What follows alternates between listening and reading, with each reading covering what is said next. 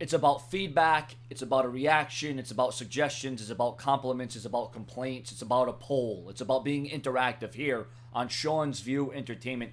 Vote in the poll below.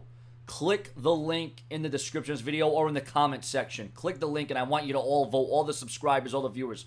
I want to know do the subscribers and viewers only care about the WWE news and rumors, or do you care about Seanz View Entertainment, the person?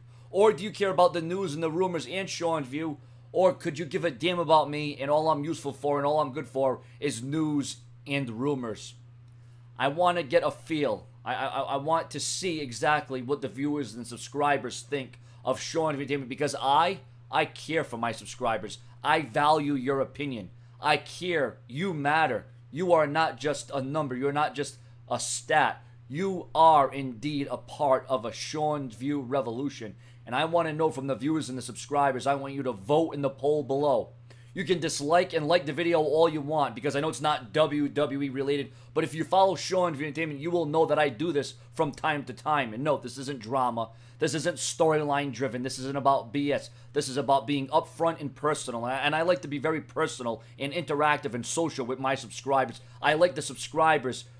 I, I, like to get a vision. I, I, I like to get a feel for what you want, what you need, and what you care for. So, do you value Seanz View Entertainment as a person, or do you only care about me because I present the news and the rumors with my views, my opinions, and my commentaries?